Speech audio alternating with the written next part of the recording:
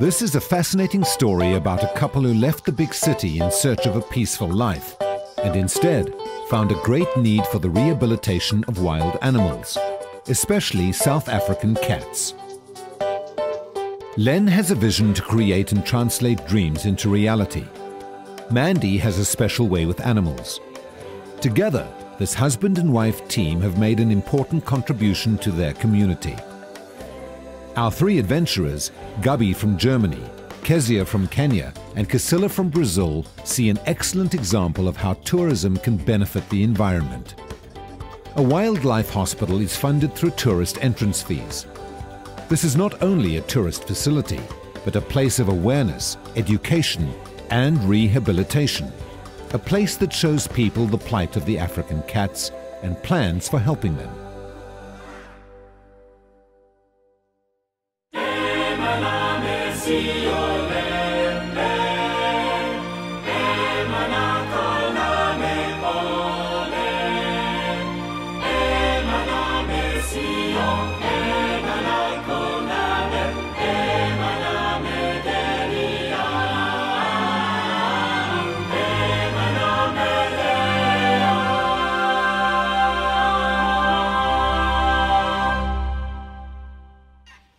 Hello and welcome to Animal Encounters. Now today we're here at Tenikwa Wildlife Conservatory where they rehabilitate animals. So come with me, come with an open mind, tread with a lighter step and leave with a change of heart. This little house is situated at the edge of a beautiful forest. What is the story behind it? I lived in this uh, for a whole year while constructing uh, Tenikwa, um, where there was no water or electricity or even a road to get here. Um, the property was completely overgrown with uh, exotic wattle, which we had to uh, remove. And it took us roughly 12 months to remove the wattle and build the house which we now live in. In 2002, Len and Mandy Freeman uprooted their lives in the South African province of KwaZulu-Natal to move to the beautiful garden route seaside town of Plettenberg Bay. Living in uh, Natal, um, we had a couple of businesses. I had a very active, uh, busy orchid nursery, cut flowers, and we had a little factory that we ran 24 hours a day, making garden products, and that got uh, over the top and got to me. And also, uh, the pollution back in Natal was a little bit too much for me. And then I discovered that I had cancer, and uh, decided that we needed to get out of uh, Natal um, to somewhat a more um, serene, quiet life. And uh, unfortunately, it has been anything but um, because we've had to put all of this together now, and now we work with animals in rehab. So it's been quite a shock to come down and hopefully have a quiet life. And I now work seven days a week, 12 hours a day. Len and Mandy realized that there was a great need in the area for a fully functioning wildlife rehabilitation center. The ever-growing human population was placing a heavy toll on wildlife populations and the environment.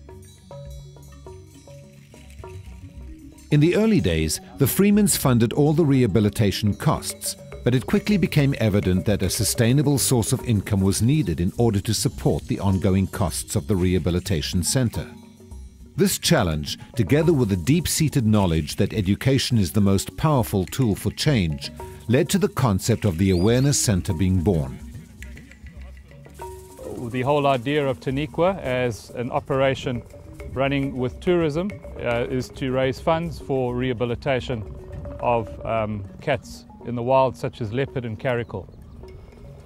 We do about 35,000 people a year um, through Tenikwa that sponsors our hospital and our rehab facilities. The, I think the, one of the questions is always why you have um, animals in captivity, and I think it's important to to say that animals belong in the wild, but for a lot of people, they don't have the opportunity to see the animals in the wild. So by coming to a center like this and seeing animals that are um, bred in captivity, so they're happy being in a relatively small area, but people can see how beautiful they are. That gives them the opportunity to be inspired to uh, work with conservation.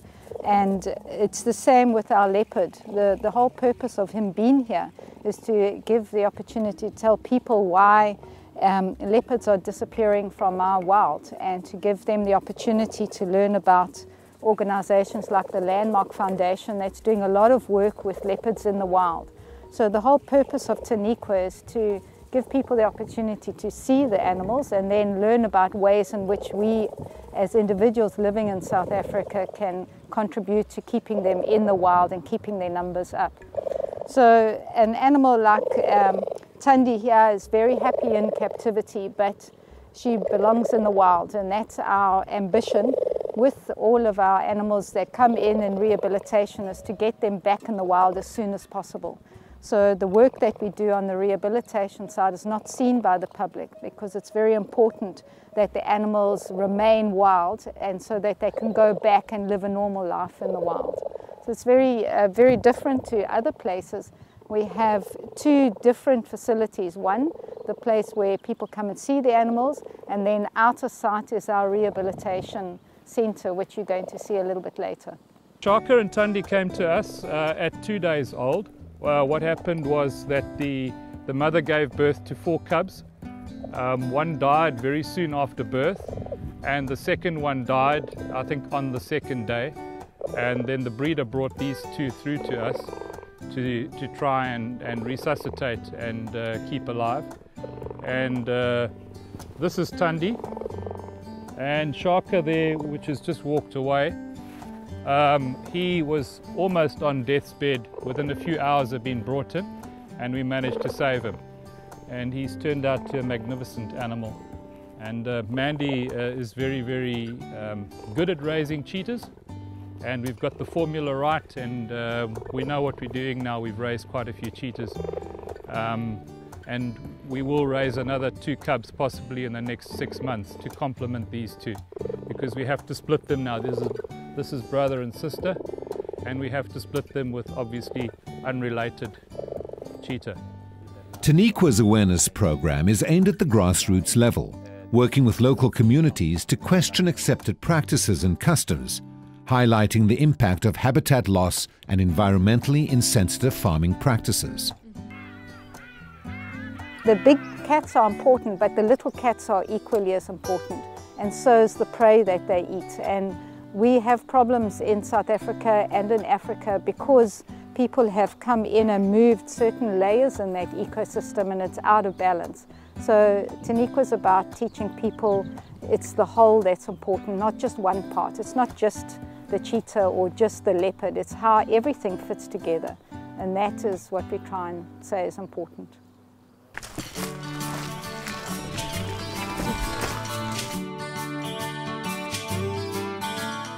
Right here um, where we're going to start, especially with these cats, which are quite a, a, confusion to anybody because this is an African wild cat we're going to see. Mm -hmm. So remember African wild cats are considered as house cats, as simple as that. But here inside, we're going to see a male and a female, which is a purebred of an African wild cat. So it's like the little kitty? It's same as a house cat as you know. Okay. Yeah, what I wanted to say is that uh, looks Extremely similar, if especially I see, I'm, I'm going to touch. especially yeah. a female is same as a house cat, but the males are a little bit bigger with long legs. But what you gotta witness me as you see them inside, you gotta believe what the wild cat is. Okay, we're going to go inside and meet with the African wild cats. So let's see a purebred species. Can you come in? You just gotta make a little bit of a group here. They go for anything from small to medium sized mammals. We're talking about anything up to same size as they are. Like we talk about Cape hares, rabbits, they can catch birds and mice and rodents and rats. But a medium sized mammal is mainly up to anything same size as they are, which lead to persecution because if you think of um, a lamb of the sheep. A lamb of the sheep is same size as they are, especially the male. That's where persecution come from. That's why we keep the cats here, which are very much important. As they here, they're more like special ambassadors from the world, which we mainly work with them to change people's perception. So for us, we are the voice of the predator. For them, they are for displaying, to see how beautiful they are, how would you feel just persecute them without a specific reason instead of protecting your lifestyle? So protective measures at this point, we're working out them, at, we are at about 11th hour where we work out to say protective measures of livestock are important because that's where we try to break the friction between a human and the wildlife. We're talking about protective collars and uh, Anatolian guide dogs, those Turkish bred which are quite big, mainly used for intimidations. It's, a collar is even a protection and intimidation because if a predator tries to grab on the throat and fail, he's scared thereafter. Because remember, predators, especially cats, are going for throating when they kill or in the neck. If the sheep wear the collar, it's not, they're not um, attacked by leopards. So, and, and one collar costs like two rand fifty. So that's what he is, is explaining. Now that's you know that's a, a project. They I don't know whether they have um, Yeah. invented the it. collar. Yeah, I think I should. Uh, one of the most compromised cats on the garden route in the whole of Africa is your caracal. Um, many are shot and uh, uh, left behind are the youngsters, and the youngsters uh, are then picked up and uh, they then come to us for rehabilitation. You stand Good for them. Yeah. as tall as you are. You Yeah. not go down because remember, Yeah. kids are considered as prey. Yeah. That's what we believe. Uh huh. Even the predator believes that Yeah. this is a prey. So, So don't look Can't into look- the you eyes. can't, Can't look, to look their in. eyes. Mhm. You glance Wow. away quickly. Because Okay. if you, you get Connect hold of the the eyes. eyes, Someone it's has a to give challenge. up. Now Yeah, it means it's a you challenge. invite him to play with you, or Mhm. you can pounce on you and start. He's not trusting you because you're facing him. Yeah. But uh, Sinjin is doing well with his son inside here. In a way, they together. Tsotsi has been hand read here at Tenikwa, which is giving me a little bit of a cattle now. Uh, in a way, that's where you can feel the fur of that cat. Uh-uh, don't cut that cable, Tsotsi. Leave it, lift it up a little bit. Yeah, but he's not gonna chew it. but if it's a toy, yes, he's gonna take it. So uh, these caracals, if you look at the behavior, they're very tamed now. That's why you can think of a question of how will you introduce this cat in the world? There is no way. That's why their future maybe the, may end up to breeding facility or wherever they protected, but not protect completely in the wild. No, it's the same procedures we follow. We should stand up upright and make sure that we're not crouching down. Remember that the servals are the cats which were mainly hunted for their skins, their fur. Yeah, they were hunted for her fur because the fur is beautiful.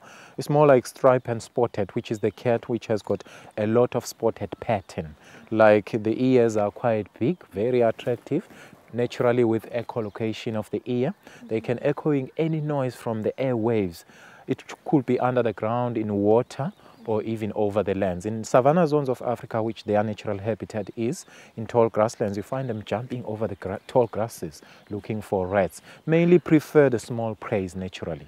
Remember that it's so difficult to work with adult people only to change their perception at that level. It's so difficult because what you can know is at an adult stage, a person is imprinted with the beliefs which mainly affected a lot of wildlife years ago. They were hunted for skins, were traditional wearings, which the adult people, old people were used to do that. So that's why now we advise to have to push through the educational program to younger generation because they're the ones for the future.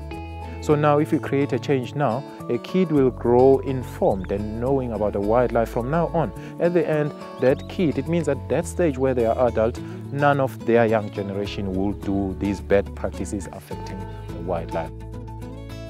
We also do penguin rehabilitation, which is uh, quite intensive. We do about 65 to 70 birds a year, and the African penguin now is on CITES 1 and highly endangered, and we hope that we can contribute to um, putting them back in the wild and, and to sustain their numbers.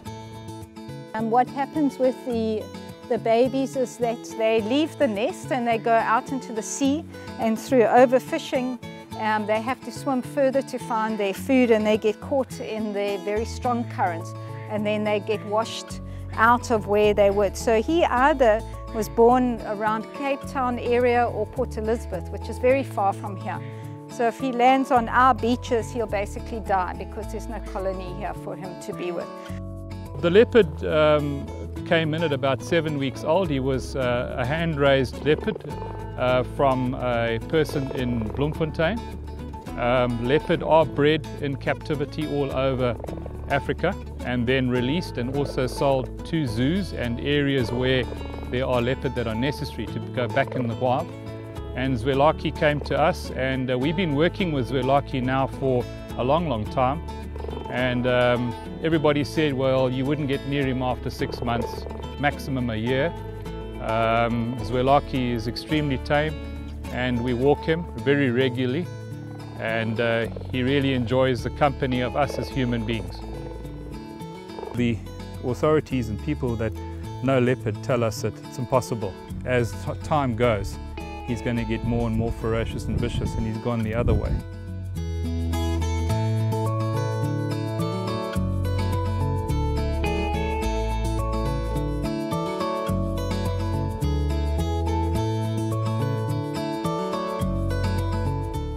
You can't wish for a more stunning cat than that. That is, I think that beats um, any cat that's on the planet.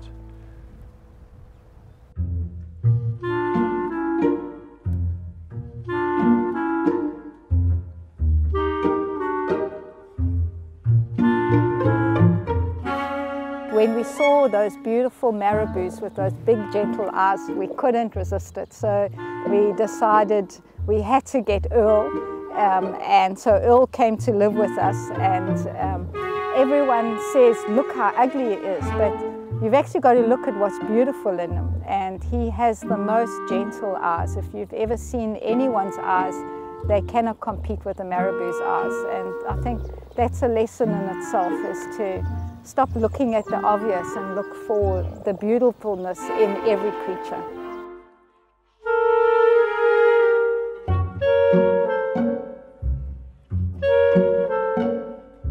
Uh, okay. Mm. Uh, okay, yeah. Okay, well this is our hospital and um, you can see it's pretty much flexible because we have any kind of animal coming in from that tiny little bird to a caracal to a buck to a bush pig. Um, so we have to have it as flexible as possible and then as the animal comes in decide what to do with it. So um, we fully equipped here. Every animal um, gets a, a sheet and as we, the first three days is always the critical time. So in the hospital, the stabilizing of the animals, we spend a lot of time and care to get them stable. And then after the three days, if they've pulled through, then they go on to the longer term rehabilitation. Um, so all their medication, whatever we feed them, what they weigh when they come in, um, all their injuries gets recorded. And uh, we do penguins as well, so we do some marine um, rehabilitation and they endangered species.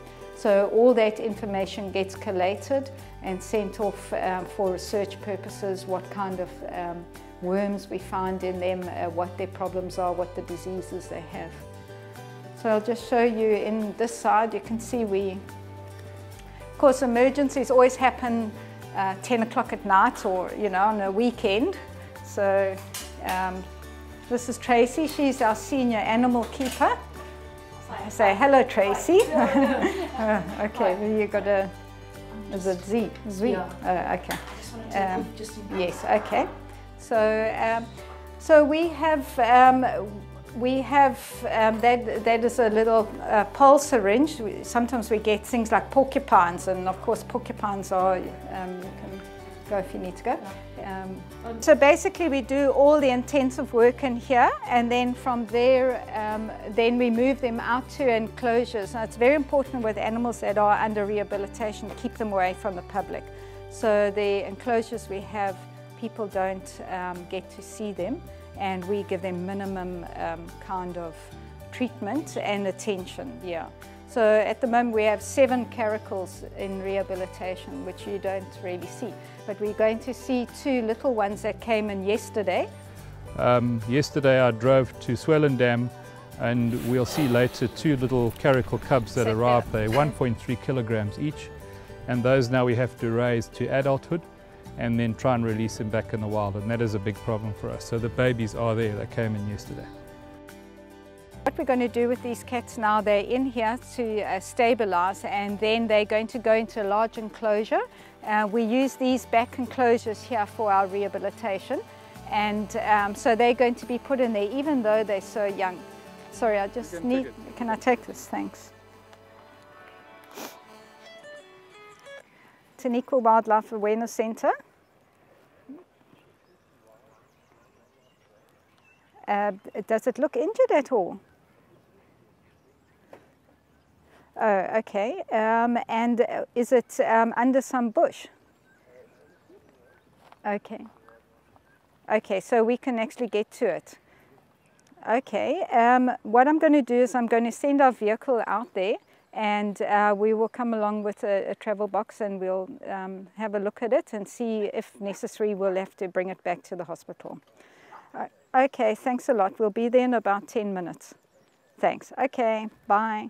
I'm sorry, I'm going to uh, have to. Um, tell us what was the call about? Yeah, okay. Basically, there's a porcupine um, that's been um, caught in a trap, and he looks like he's injured. Um, it looks like the leg is broken, and so we're going to have to go out there and assess it. And um, we actually got one in about two weeks ago. It wasn't in a trap, but um, its back was broken from running across the road and being knocked over. But this one, it seems like the leg's broken. so we're going to need to go out there and bring it back here. How often so, do you get these emergency calls? Well, last month we had 17 animals that came in, from penguins to the porcupine to little birds. So we're getting them all throughout the day and, um, and sometimes even at night.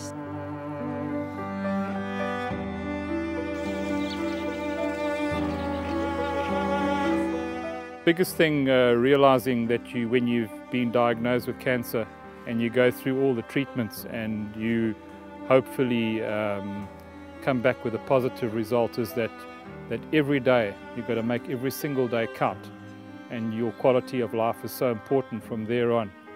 But what it does to you, it makes you very intolerant of, of issues around you. So I've had to adapt very, very with long, long-term goals um, and hopefully um, can keep it in remission. Whilst Len's cancer is in remission, it brought home to this dedicated couple how little time there is left to open the eyes and ears of our communities. For some species, we are the last generation who can make a difference.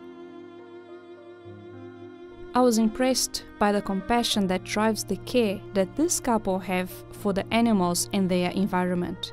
They truly have an empathy that is not only rare, but which they put into practice. It was a real motivation for me to care more and do more. Sometimes our traditions and culture negatively affect the nature around us. Some traditions actually make sense, but where they clash with the environment, we need to question these traditions and ask ourselves if this is something we need in our lives. Let's make a new start and only follow traditions that'll help save our fragile planet. I think that if we understand that nature and the animals are the result of a divine creator's amazing design, we might have more respect for them. It surely helps me realize that we are connected with all of God's creatures in a special way, and that we need to take care of these wonderful creatures.